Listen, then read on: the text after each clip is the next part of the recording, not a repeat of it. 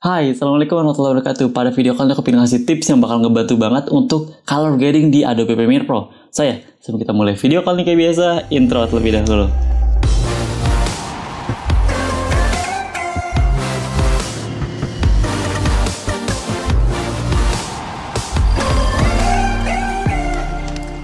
Oke, jadi tips ataupun teknik ini aku baru ketahui beberapa uh, hari atau minggu yang lalu gitu pas aku lagi coba-coba ngedit. Aku pakai Lumetri Color dan ada satu teknik mungkin bisa dibilang yang luar biasa bagus sih. Aku pengen coba langsung share gitu ke kalian agar bisa ngebantu gitu. I don't know mungkin beberapa dari kalian mungkin kebanyakan udah tahu juga. Uh, kita langsung coba langsung di Adobe Premiere Pro yang aku gunakan 2019. Kita langsung ambil sampel videonya aja misalkan dari sini sampai sini uh, kayak biasa aja lalu kayak yang selalu aku gunakan gitu klik kanan di sini itu buat new sequence from clip. Atau misalkan bikin sequence baru juga nggak masalah. Jadi tips ataupun teknik yang pertama yang selalu aku gunakan mungkin aku udah pernah share juga pada video-video sebelumnya itu menggunakan adjustment layer untuk color grading video kalian. Kenapa? Untuk bisa uh, jadi bisa dipanjangin gitu satu color grading itu bisa kalian gunakan untuk seluruh video bakal kalian edit gitu. Dan juga mudah untuk mengganti-gantinya. Jadi kalau misalkan uh, videonya udah dipotong-potong dan segala macam itu bakal lebih mudah dalam mengeditnya. Oke, okay. dalam adjustment layer ini kayak biasa bakal kita lakukan misalkan edit exposure, uh, contrast, highlight, shadow segala macam ini kasaran aja nggak aku uh, bener-bener coba kerjain misalkan kontras aja kita naikin sama di curves coba misalkan kita naikin sedikit. Oke, terlalu ekstrim. Oke, misalkan segini aja ini ya ya normal aja gitu gak terlalu macam-macam kalau gradingnya kita langsung masuk ke teknik yang pikir aku share sebenarnya pada kesempatan kali ini itu adalah HSL secondary. Jadi di sini kalian bisa lihat di bagian Lumetri Color ada HSL secondary.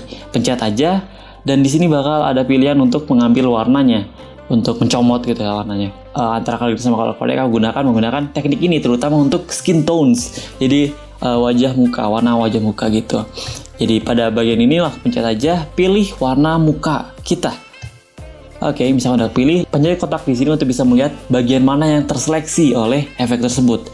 Ini bisa kita gerakin biar bisa lebih menyeluruh bagian yang uh, terseleksinya terpilihnya gitu ya. Oke, kita coba-coba dulu aja. Hmm, oke. Okay. Sangat segini ya, biar bagian tembok sini tuh nggak terlalu kelihatan. Soal kalau geser lagi bakal jadi kelihatan gitu warna uh, ungu atau biru di sebelah sana. Oke misalkan kayak gini.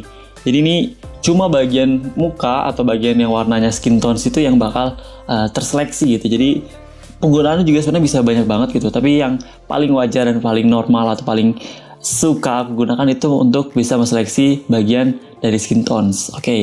yang biasa aku gunakan kembali lagi ke yang uh, biasa itu kita bisa oh ya ini di bagian di noise sama blurnya kita naik sedikit biar agak lebih halus gitu antara perpindahan warnanya. Dan mungkin kalau udah tebak gitu kita bisa edit hanya pada bagian yang udah terseleksi yaitu pada bagian skin tones mukanya aja. Kita bisa naikin si uh, brightnessnya jadi bakal jauh lebih terang. Saya kalian ini kalau pakai itu dan ini kalau nggak kelihatan lebih terang tapi hanya bagian mukanya aja gitu. Dan itu bagus banget gitu. Kita bisa dengan mudah untuk menseleksinya. Selain itu juga bisa kita kasih uh, warna biar lebih orange misalkan atau lebih kayak warm mukanya. Tapi bagian lain itu nggak ikut ke edit gitu. Kasih temperatur juga bisa. Oke okay. bisa kasih kontras sharpen sama saturation misalkan dan yang keedit hanya bagian mukanya aja. Itu menarik sih aku.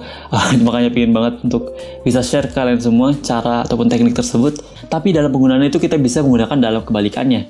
Misalkan kita bukannya pingin hanya mengedit bagian muka tapi pingin mengedit selain dari muka. Jadi bagian mukanya itu kita udah color correct udah uh, memperbaiki misalkan di bagian curves aku perbaiki sedikit. Di hue versus hue ke sininya kita angkat sedikit biar warnanya agak merah okay. udah bagus. Tinggal dinaikin sedikit saturationnya misalkan udah uh, ya aku anggap gitu udah udah lumayan bagus gitu. Tinggal uh, misalkan kita kasih temperatur naik ke arah orange sedikit. Oke okay, ini udah bagus banget untuk temperatur ataupun untuk skin tone warna mukanya. Tapi bagian warna lain itu gak sesuai ya pingin kita uh, edit itu kita juga bisa gunakan sebaliknya. Jadi tadi kan ini udah keseleksi hanya bagian sininya aja kan Uh, Oke, okay. hanya bagian ininya aja. Mungkin ini harus diperbagi lagi. Oke, okay. hanya bagian mukanya aja yang seleksi, tapi ini agak banyak agak keikut tapi it's okay. Lalu cara yang bisa kita gunakan itu adalah dengan pencet bagian sini. Tombol ini bakal ke inverse. Jadi bagian selain muka, selain uh, skin tones itu bakal ke edit. Misalkan kita turunin brightnessnya, jadi bakal lebih gelap bagian selain mukanya. Kita bisa lihat bagian lain itu jadi lebih gelap, tapi mukanya itu bakal tetap warnanya. Habis itu warnanya misalkan kita kasih lebih warna biru, kalian bisa lihat yang lainnya itu bakal jadi lebih biru tapi mukanya bakal tetap warna sesuai gitu. Udah kita kalah korek sebelumnya. Kasih kontras uh, sharpennya kita naikin vibrationnya saturationnya kita turun. Bisa atau kebalikan kah? Ya it's okay terserah kalian. Mau coba-coba juga boleh banget. So ya jadi ini powerful banget. Penggunaan itu bisa macam-macam kita bisa seleksi gak harus muka misalkan warna biru kah atau warna segala macam baju ini misalkan atau misalkan yang lain gitu itu banyak banget untuk pengaplikasiannya terserah kalian coba-coba aja uh, menggunakan efek ataupun fitur yang udah ada pada Adobe Premiere Pro secara langsung dan ya ini menarik banget kalau kalian pengen coba. Oke, ada satu efek lagi, satu teknik yang sebenarnya nih uh, udah lama aku ketahui gitu, udah dari lama banget lah aku pernah uh, ketahui, tapi aku belum pernah coba dan akhirnya aku pengen uh, nyobain aja. Itu ada di bagian master sini.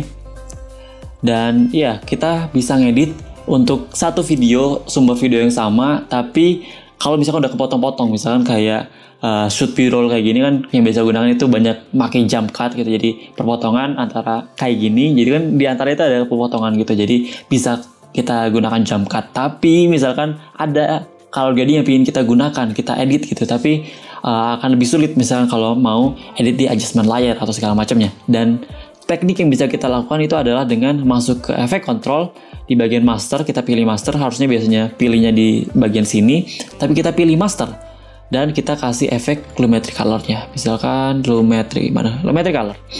Kita kasih di bagian master. Dan ini bakal ke editnya itu seluruhnya. Jadi seluruh uh, video dari sumber yang sama itu bakal ke edit. Misalkan uh, kita agak ekstrim aja kita naikin si temperaturnya jadi bener-bener warm banget. Dan ini bakal ke edit di bagian semuanya. Gitu ya. Jadi udah kredit di bagian semuanya walaupun ke cut udah ke cut gitu. Udah banyak aku pakai cutting cutting cutting. Misalkan aku jump cut jump cut jump cut. Dan ini bisa untuk save waktu juga sih. Jadi kalian nggak perlu perbaiki satu persatu. Copy paste copy paste copy paste copy paste. Lalu uh, banyak banget kalian ketinggalan kah segala macam. Cara ini bisa kalian gunakan banget sih. Dan lagi-lagi penggunaannya nggak cuma pada color grading sebenarnya pada efek-efek lain juga bisa kalian lakukan. Misalkan pada horizontal flip yang semi juga kadang kali aku gunakan itu udah kubahnya semuanya.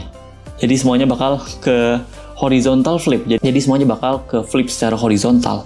Dan ini menarik sih. Ini uh, penggunaan lagi-lagi bakal banyak banget antara uh, efek-efek yang bakal tersedia pada Premiere Pro. Jadi semua efek bisa dilakukan ataupun dimasukkan pada bagian master tersebut. So ya, ini menarik banget.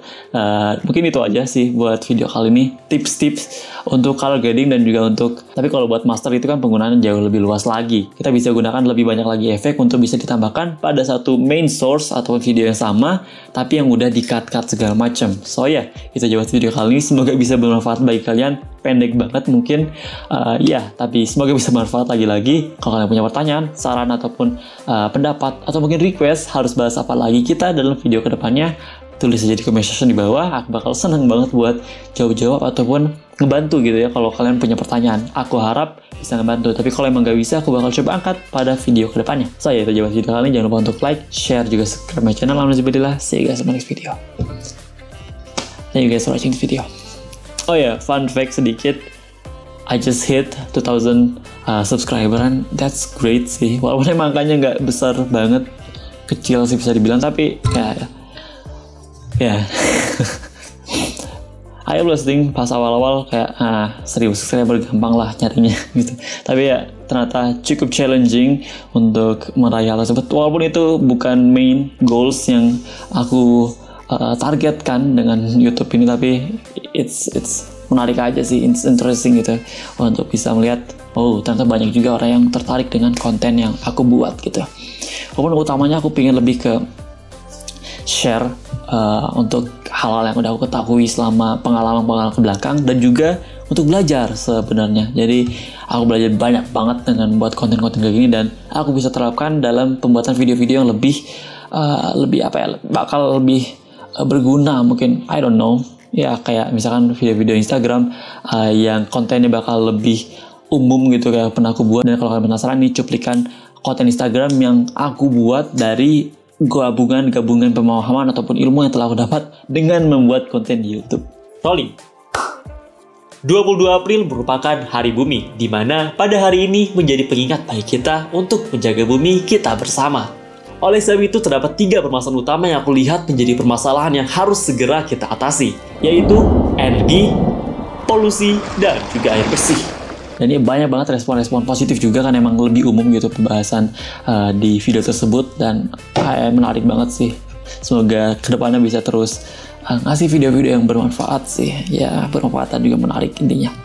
So ya, thank you banget semuanya yang udah subscribe, udah uh, berlangganan segala macam, like, uh, komen, ngasih saran, ngasih pendapat, uh, ngasih kritikan juga. Thank you banget karena bakal ngebantu banget uh, beda banget gitu udah perubahan antara satu tahun dua tahun ke belakang. Pas aku buat konten uh, channel di YouTube aku sama sekat sama saat ini gitu berbedanya lumayan kelihatan so ya.